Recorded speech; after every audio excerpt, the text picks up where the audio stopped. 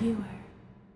A house fire in Baltimore, Maryland is feared to have taken the lives of six children. The fire began early Thursday morning at the house belonging to Kate Malone, a special assistant to Maryland Congressman Elijah Cummings. Fire Department Chief Roman Clark said Malone and three of her children escaped. They have all been hospitalized. Malone has nine children ranging in age from 8 months to 11 years old. Clark also reported that so far, one child's body has been recovered with the other victims still to be identified. Malone's husband, William Malone, who works a restaurant job, was not at home when the fire occurred. The cause of the blaze is still under investigation, as investigators have not been able to enter the home. For Veuer, I'm Josh King.